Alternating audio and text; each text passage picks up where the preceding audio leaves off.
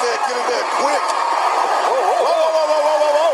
Cena almost had the referee in a headlock there. And look at this. big skull crushing finale. Oh, Riley And Christian hooking the leg of Alex Riley. See you later, A-Rod. Welcome to the big leagues, kid. Head on back to the locker Okay, room. okay, okay.